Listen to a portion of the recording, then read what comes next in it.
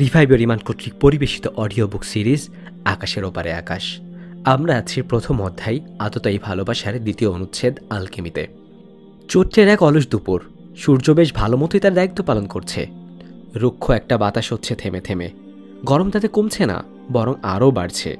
সাধারণত বাধ্য না হলে এমন সময় কেউ বাইরে বের হয় না। একটা জরুরি কাজ পড়ে গিয়েছিল। বাধ্য হয়ে বের হতে হয়েছে। এখন ঘরে ফিরছি। বাসার কাছাকাছি আসতে বেশ মজার একটা ঘটনা চোখে পড়ল। আঠারো উনিশ বছর বয়সে এক তরুণ বেশ সাজগোজ করে একটা বাসার সামনে দাঁড়িয়ে আছে। চোখের সানগ্লাস, বুকে শার্টের মধ্যে গুজে রেখেছে। হাতে প্রেম ফুল, টকটকে লাল গোলাপ। কৌতূহল হলো। তরুণের চোখের দৃষ্টি অনুসরণ করে তাকালাম এক বেলকনির দিকে। স্কার্ট পরা ষোড়শী এক মিষ্টি কিশোরী। মাথায় কাপড়ের ব্যান্ড দিয়ে চুল বাঁধা, মুচকি মুচকি হাসছে। প্রচণ্ড গরমে মাথা হয়ে গিয়েছিল গরম। হাত চালিয়ে চুলের জঙ্গল লুকিয়ে থাকা ঘামগুলো গ্রেফতার করতে করতে মুখ দিয়ে অটোমেটিক বের হয়ে গেল। হাই রে মরার প্রেম, এই গরমে ঠাই দাঁড়িয়ে প্রেম করছে। এই ঘটনা মনে করিয়ে দিল বারো তেরো বছর আগের একটা ঘটনা। প্রচণ্ড শীত, আমার ঠান্ডাও একটু বেশি লাগে। দুটো সোয়েটারের উপর একটা জ্যাকেট চাপিয়ে বের হয়েছি স্কুলে যাবার জন্য। এর মাঝে দেখি এক তরুণিয়া স্রেফ একটা শাড়ি আর অনেক সাজগোজ করে হাতে ফুল নিয়ে বাসার দিকে ফিরছে। চোখে মুখে খুশির একটা ঝিলিক। ডেট থেকে ফিরছে। এরকম অনেক ঘটনা দেখেছি। মশার কামড় খেয়ে সারা রাত ফোনে কথা বলা, পৃষ্ঠার পর পৃষ্ঠা জুড়ে ভালোবাসার কথা লেখা। ফেসবুক ফ্রেন্ডকে স্রেফ একবার দেখার জন্য অল্প সময়ের নোটিশে দেশের এক মাথা থেকে ও মাথায় চলে যাওয়া, হাত কাটা, ইঁদুর মারার বিষ খাওয়া সহ আরও অনেক কিছু। প্রেমের এই যে পাগলামি, শীত, গ্রীষ্ম, বর্ষা, ঝড় বৃষ্টির জলোচ্ছ্বাস, কোনো কিছুকেই তোয়াক্কা না করা এগুলো কেন হয়? নারী পুরুষের এমন তীব্র আকর্ষণের কারণ কি? এমন প্রশ্ন ছিল মনের মধ্যে। উত্তরটা পেলাম বই লিখতে গিয়ে। আমাদের দেহের ভিতরে বিভিন্ন অঙ্গ প্রত্যঙ্গের যোগাযোগের জন্য এক ধরনের বার্তাবাহক আছে। এরা আমাদের রক্তের টিস্যুতে বিভিন্ন অঙ্গ প্রত্যঙ্গে ভ্রমণ করে। বিজ্ঞানের ভাষায় এদের নাম হলো হরমোন। এই হরমোনগুলো আমাদের জন্য খুবই গুরুত্বপূর্ণ। আমাদের বেড়ে ওঠা শারীরিক ও মানসিক বিকাশ, শরীরের মেটাবলিজম যৌনতা, প্রজনন, মন ভালো, খারাপ, হতাশা, অনুপ্রেরণা জীবনের অনেক গুরুত্বপূর্ণ বিষয়ে ব্যাপক ভূমিকা রাখে এই হরমোনগুলো। প্রেম ভালোবাসার আলোচনাতেও এই হরমোনগুলো মোটামুটি কেন্দ্রীয় চরিত্র হিসেবে আবির্ভূত হবার দাবি রাখে। কিন্তু দুঃখজনক ব্যাপার হলো, প্রেম, মোহ, কামনা, যৌনতা, ভালোবাসা, এসব ক্ষেত্রে হৃদয়ের ভূমিকাকে হাইলাইট করা হলেও মস্তিষ্ক এবং দেহে রিলিজ হওয়া হরমোনের আলোচনা তেমন আসে না। প্রেমের জগৎটাকে ঠিকমতো বুঝতে না পেরে একের পর এক ভুল করে যাওয়ার পেছনে এই হরমোনগুলোর ভূমিকা না বোঝা অনেকাংশেই দায়ী বলেই মনে হয়। ভালোবাসার সাথে গুলিয়ে ফেলা হয় এমন দুইটি বিষয় আমরা ইতিমধ্যে জেনে ফেলেছি, মোহ এবং কামনা। ওকে দেখলেই বুক ধুকপুক করে বুকে সুখের মতো ব্যথা হওয়া, হৃৎপিণ্ডের গতি বেড়ে যাওয়া, পেটের ভিতর প্রজাপতি নাচানাচি করা, হাত পা ঘেমে যাওয়া, নাক, কান, চেহারা লাল হয়ে যাওয়া। গবেষকরা বলছেন, মোহের এই শারীরিক পরিবর্তনগুলোর কারণ হল feel good hormone dopamine norepinephrine serotonin release হওয়া। এই হরমোনগুলো নিঃসৃত হলে আমাদের ভালো লাগে, আনন্দের অনুভূতি হয়, দিল খুশ হয়ে যায়। বিভিন্ন ধরনের মাদকদ্রব্য যেমন কোকেইন সেবন করলে ডোপামিন নিঃসৃত হয়, পিনিক ওঠে আসলে ক্ষণিকের এই মোহ ও ভালো লাগা মাদকের মতোই ভয়াবহ। চীনের একদল গবেষক গবেষণা করে দেখিয়েছেন মাদকাশক্তি ও প্রেমের মধ্যে আচরণগত মস্তিষ্কের বিভিন্ন কেমিক্যাল প্রবাহের দিকে অনেক মিল রয়েছে। NCBI, the national centre for biotechnological information. এ প্রকাশিত সাম্প্রতিক এক গবেষণায় ব্রেন স্ক্যান করে দেখা গেছে, মাদকাসক্ত মানুষ হঠাৎ করে কোকেনের মাদক নেওয়া বন্ধ করে দিলে শরীর যেভাবে তীব্র প্রতিক্রিয়া দেখায়, ব্রেকআপের পরেও প্রেমিক প্রেমিকাদের মস্তিষ্কে তেমন প্রতিক্রিয়া দেখা যায়। ছেঁকা খাওয়া মানুষদের মস্তিষ্ক এমআরআই করা হলো, আর শারীরিক ব্যথায় আছে এমন মানুষের মস্তিষ্ক এমআরআই করা হলো। দেখা গেল, দুই ক্ষেত্রে ব্রেনেই একই ধরনের ছবি পাওয়া যাচ্ছে। অর্থাৎ ব্রেকআপ শুধু মানসিক কষ্ট হয় না। গবেষকরা বলছেন, ব্রেকআপের ফলে শারীরিক কষ্ট অনুভূত হয়। ব্রেকআপের সময় ফিল গুড হরমোনগুলো আর রিলিজ হয় না। সেই সাথে অবস্থা আরও খারাপ হয়ে যায় কর্টিসল নামক একটি হরমোন রিলিজ হয়ে। কর্টিসল বাবেজির কাজ হলো প্যারা দেওয়া। এটা হলো স্ট্রেস হরমোন। এই যে ব্রেন খুশি থাকার হরমোনগুলোর প্রবাহ বন্ধ হয়ে যাচ্ছে, আবার চাপ সৃষ্টিকারী হরমোনের প্রবাহ হচ্ছে এই কারণে ব্রেকআপের পর খুব কষ্ট হয়। স্বভাবতে মানুষ এই কষ্টগুলোকে এড়াতে চায়। অবেচেতন মন অন্তর থেকে চায় ব্রেনে আবার সেই খুশির হরমোনের বন্যা বয়ে যাক। তাই বারবার সে মনে করিয়ে দেয় সেই মানুষটার কথা। যার কারণে একসময় সে হরমোনগুলো রিলিজ হয়েছিল। প্রাক্তনকে ভোলা তাই খুব একটা সহজ হয় না। অন্যদিকে, কারোর প্রতি ভালোবাসা জন্মালে ব্রেনে অক্সিটোসিন এবং ভ্যাপোরেপসিন হরমোন নির্গত হয়। এই ধরনের হরমোন সাধারণত দুজনের মানুষের মধ্যে দীর্ঘস্থায়ী বন্ধন, যেমন মা এবং সন্তানের মধ্যে বন্ধন করার ক্ষেত্রে বের হয়ে থাকে। আর কামনার সময় সেক্স হরমোন যেমন টেস্টোস্টোরেন এবং এস্ট্রোজেন রিলিজ হয়। তো মস্তিষ্কের এমন পরিবর্তন হরমোন রিলিজের এই রহস্যময় ব্যাপারগুলো শুধু প্রেমিক প্রেমিকাদের মধ্যেই সীমাবদ্ধ থাকে না সম্পূর্ণ আগন্তুক থেকে শুরু করে স্বল্প পরিচিত কিংবা পরিচিত কিন্তু প্রেমের সম্পর্ক নেই, এমন যে কারোর ক্ষেত্রে এর চাইতেও ব্যাপক হারে রহস্যময় ব্যাপার ঘটতে পারে। ম্যাসাচুসেটস জেনারেল হসপিটালের গবেষক একুশ থেকে আঠাশ বছর বয়সী কয়েকজন পুরুষকে সুন্দরী নারীদের ছবি দেখায়। দেখা গেল, ছবি দেখা মাত্রই তাদের ব্রেনের রিওয়ার্ড সিস্টেম সেন্টার সক্রিয় হয়ে গেছে। কোকেনের মতো মাদকও ঠিক একইভাবে মস্তিষ্কের এই অংশকে সক্রিয় করে ক্ষণিকের ভালো লাগা তৈরি করে। আসক্তি তৈরি করে। অর্থাৎ, মোটামুটি সুন্দরী নারীদের একবার দেখলে বারবার দেখার জন্য পুরুষের ব্রেনে আসক্তি তৈরি হয়। আসলে, সৃষ্টিগতভাবেই পুরুষ এমন যে আশেপাশের কোনো নারী থাকলে অবচেতনভাবেই সেদিকে তার চোখ চলে যায়। University of California, San ফ্রান্সিসকোর psychiatric clinical professor doctor Louann Brizendine ভদ্রমহিলা আমেরিকার বোর্ড অফ সাইকিয়াট্রিক অ্যান্ড নিউরোলজির একজন সদস্য। মস্তিষ্কের যে অংশ যৌনতার অনুভূতি তৈরি করে, তা নারীদের তুলনায় পুরুষের মস্তিষ্কে দুই দশমিক পাঁচ গুণ বড়। ডক্টর ব্রিজেন্ডাইনের মতে, এটাই সম্ভবত নারী আর পুরুষের ব্রেনের সবচাইতে বড় পার্থক্য। তিনি আরও বলেন, আশেপাশে মেয়ে থাকলে পুরুষের চোখ সেদিকে যায়। তাদের শরীরের নির্দিষ্ট কিছু জায়গা সম্মোহিত ব্যক্তির মতো নজর আটকে যায়। আমি যদি বলতে পারতাম এই সম্মোহিত হওয়ার যে পুরুষেরা নিজেদেরকে রক্ষা করতে পারে, কিন্তু না, বাস্তবতা হলো তাদের পক্ষে এটা করা সম্ভব না। তাদের ভিজুয়াল ব্রেন সার্কিট এমনভাবেই তৈরি যে তা সবসময় প্রজননের জন্য উর্বর সঙ্গী খুঁজতে থাকে। আশপাশ দিয়ে যে নারী যাক, ইচ্ছা না থাকলেও অবচেতনভাবেই পুরুষ তাদের দিকে তাকায়, প্রজননের জন্য উর্বর সঙ্গী খোঁজে। সৌন্দর্য দেখে নারীরা প্রভাবিত হয়। গবেষণায় দেখা গেছে, কোনো কাজের আগে যদি নারীরা সুদর্শন পুরুষের সংস্পর্শে আসে, তাহলে কাজে যাবার সময় তারা বেশি উত্তেজক পোশাক পরে নেয়। গবেষকরা বলেছেন চেহারা সৌন্দর্যের চেয়ে পুরুষ বেশি গুরুত্ব দেয় শরীরের সৌন্দর্যকে, ফিগারকে বিশেষ করে বালুঘড়ির মতো গঠন আওয়ার গ্লাস ফিগার কোমর এবং নিতম্বের অনুপাত শূন্য দশমিক সাত পুরুষের পছন্দ। কারণ পুরুষের মস্তিষ্ক ধরে নেয় এ ধরনের শরীরের অধিকারী নারীরা সুস্বাস্থ্যের অধিকারী এবং প্রজননের জন্য উর্বর। নিউজিল্যান্ডের ভিক্টোরিয়া ইউনিভার্সিটি অফ ওয়েলিংটন নৃতাত্ত্বিক ডক্টর বার্নাবি ডিকসনের নেতৃত্বে পরিচালিত এক গবেষণায় দেখা যায়, সব পুরুষের চোখ প্রথমেই যে নারীর অঙ্গে আটকায় তা হলো বুক আর কোমর। সবচেয়ে বেশি সময় আটকে থাকে ওই দুইটি জায়গাতেই। পুরুষ উত্তেজিত হয় দেখার দ্বারা ভিজুয়াল সেক্সুয়াল বিপরীতে নারী উত্তেজিত হয় স্পর্শ দ্বারা। একটা পা, বুক বা ঠোঁটের ছবি দেখেও পুরুষ উত্তেজিত হয়ে কাম মেটাতে পারে, যে কামের মধ্যে প্রেমের কোনো বালাই নেই। তাই পর্নোগ্রাফির ভোক্তা মূলত পুরুষ। কোটি কোটি টাকা খরচ করে পুরুষ নারীর নগ্ন দেহ দেখে। পণ্যের বিজ্ঞাপনে নারীর পা, পিঠ, পেট, বুক, হাত, হিপ ব্যবহার করা হয় ডাল ভাতের মতো হলে। পুরুষের পা, পিঠ, হিপ ব্যবহার করে, কিন্তু বিজ্ঞাপন দেওয়া হয় না। কারণ এটা আকর্ষণ জাগাতে পারে না। আলাদা করে পুরুষ দেহ বা পুরুষাঙ্গ নারীর আগ্রহ জাগাই না। নারীর কণ্ঠ শুনেও পুরুষ আকর্ষণ বোধ করে। কণ্ঠের মাধুর্য থেকেই প্রথম সেক্সের সময় সেই নারীর বয়স কত ছিল, যৌনসঙ্গীর সংখ্যা কত, অবৈধ যৌনসঙ্গী আছে কিনা, তাকে পটানো যাবে কিনা ইত্যাদি নানা ব্যাপারে পুলিশ ধারণা করে নেয়। শিকাগোর smell and state treatment and research ফাউন্ডেশনের ডিরেক্টর অ্যালান হার্স দীর্ঘ গবেষণার পর বলেছেন, সুগন্ধি মস্তিষ্কের সেই জায়গাগুলোকে উত্তেজিত করে, যেগুলো যৌনাকাঙ্ক্ষার সাথে সরাসরি সম্পর্কিত। এর ফলে পুরুষের মনে যৌন চিন্তা চলে আসে। অসংখ্য পুরুষের উপর গবেষণা চালিয়ে দেখা গেছে, গার্লফ্রেন্ড, এমনকি সম্পূর্ণ অপরিচিত নারীর দেহে সুগন্ধ তাদেরকে যৌনতার জন্য পাগল করে দেয়। লাল লিপস্টিক, লাল রঙের পোশাক, স্লিপলেস পোশাক high heel mini skirt leggings skinny jeans denim jacket lingerie night gown এসব পোশাক পরা নারীদের বিজ্ঞাপনের যেমন অহরহ দেখা যায়, তেমনই ফ্যাশন হিসাবেও এগুলোর জনপ্রিয়তা আকাশচুম্বী। কারণ ওই একটাই? ওই পোশাকগুলো পরা নারীদের প্রতি পুরুষের তীব্র আকর্ষণ অনুভব করে? যেসব নারীরা লিপস্টিক দেয় না, তাদের চেয়ে লিপস্টিক দেওয়া নারীদের ছেলেরা প্রেমের প্রস্তাব বেশি দেয়। গবেষকরা বলছেন নারীর যৌন হেনস্তার পেছনে যে বিষয়টি কাজ করে তা হলো, নারীকে রক্ত মাংসের মানুষ না ভেবে একদলা মাংসপিণ্ড বা বস্তু মনে করা।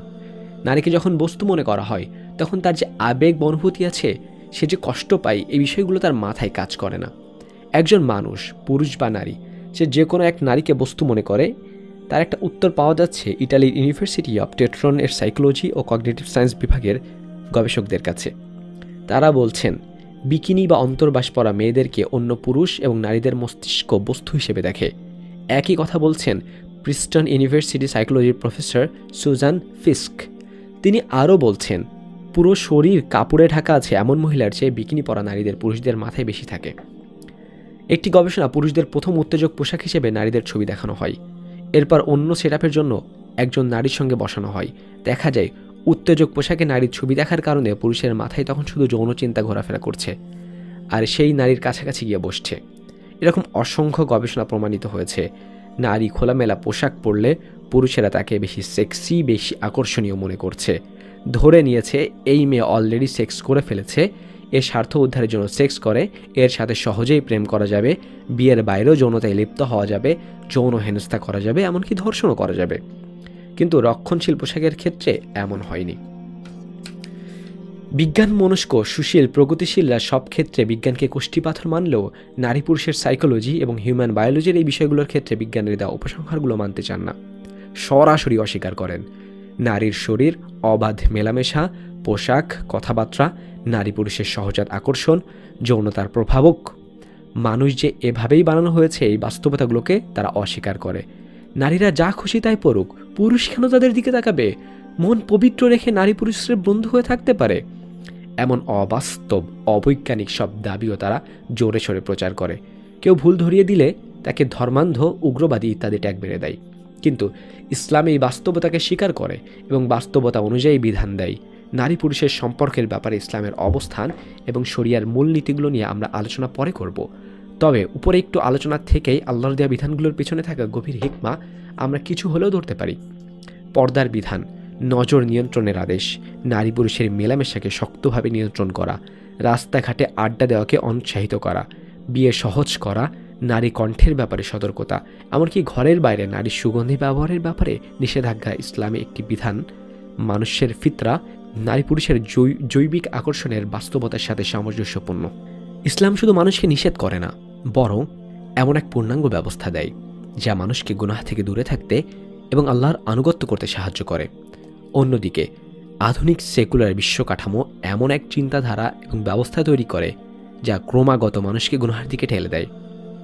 প্রেমের আলকেমির পিছনে খুব শক্তিশালী, খুব বড় একটা ফ্যাক্টর সেক্স যৌনতা। যৌনতা এমন একটা বিষয়, যার ছায়া এবং সীমানা থেকে নারী পুরুষের সম্পর্ক কখনোই বের হতে পারে না। নারী পুরুষের সম্পর্ককে যতটা রোমান্টিকভাবে উপস্থাপন করা হোক না কেন, যতই নিঃস্বার্থ বন্ধুত্ব কিংবা ভাই বোন পাতানো হোক না কেন, যতই পবিত্র মন বা পবিত্র সম্পর্কের বুলি আওড়ানো হোক না কেন, তাতে বাস্তবতা বদলায় না। বিষয়টার উপর মানুষের সবসময় নিয়ন্ত্রণ থাকে না। যৌনতার কলকবজাকে মানুষের মন সচেতনভাবে নিয়ন্ত্রণ করতে পারে না। নারী এবং পুরুষকে পাশাপাশি রাখা হলে স্বয়ংক্রিয়ভাবে চালু হয়ে যায় যৌনতার রসায়ন। আসলে প্রত্যেক নিঃস্বার্থ ভালোবাসা আর ট্রু লাইফের অনুভূতি চালিত করে যৌনতা। শারীরিক চাহিদা, আর শারীরিক এই ক্ষুধা আমাদের চিন্তাকে প্রভাবিত করে নানাভাবে। প্রেমে পড়ার সময়টাতে একদিকে মস্তিষ্ক চলতে থাকা হরমোনের বন্যা, অন্যদিকে শারীরিক চাহিদার বাস্তবতা অস্বীকার কিংবা আড়াল করতে গিয়ে নিজের সাথে চলে নিজেরই মিথ্যাচার। দুয়ে মিলে তৈরি হয় এক বিচিত্র মানসিক অবস্থা। হরমোনের স্রোত আর যৌনতার জোয়ারে ঠিকভাবে চিন্তা করাই কঠিন হয়ে দাঁড়ায়। তীব্র আবেগের এক কল্প জগতে মানুষ হাবুডুবু খেতে শুরু করে, যেটাকে আমরা প্রেম বলছি, যেটাকে আমরা পবিত্র বলে মহিমান্বিত করছি। তা আসলে শারীরিক ক্ষুধা আর পিটুইটারির খেলা কেবল। সব কথা, কবিতা আর কল্পনার খেলাঘর পার হবার পর সত্য হলো এই যে, প্রেম, যার জন্য তুমি আকাশ এবং পৃথিবীর সীমারেখা ভুলতে বসেছ, তা আসলে তোমার মস্তিষ্ক আর যৌনাঙ্গের মিথস্ক্রিয়া ছাড়া আর কিছুই নয়। জাপানে কিছু সস্তা হোটেল আছে। শরীরের উষ্ণতা ভাগাভাগি করতে উদ্গ্রীব যুগলদের জন্য চার দেওয়ালের ভিতরে একটি বিছানার ব্যবস্থা করে দেওয়া হলো। এসব হোটেলেরই মূল কাজ। এই হোটেলগুলোতে পতিতাও মিলে সুলভ মূল্যে। সব দেশে এই ধরনের হোটেল আছে। বিশ্বের সাথে তাল মিলিয়ে এগিয়ে চলা এই বাংলাদেশেও এমন আছে অনেক হোটেল। তবে মজার এবং আমাদের আলোচনার সাথে প্রাসঙ্গিক দিক হলো, এই হোটেলগুলোকে যাবারে বলা হয় লাভ হোটেল। সাময়িক যৌন সুখের জন্য ঘণ্টা হিসেবে বিছানা ভাড়া দেওয়ার জন্য ব্যবসার নাম হলো ভালোবাসার হোটেল। এই তো ভালোবাসা।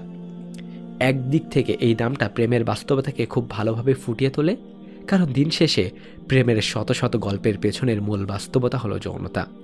সরাসরি স্বীকার না করলেও একটা পর্যায়ে আমরা সবাই এ বাস্তবতা জানি, উপলব্ধি করি। এই জন্যই তো ভালোবাসা দিবসগুলোতে কন্ডোমের বিক্রি বেড়ে যায়।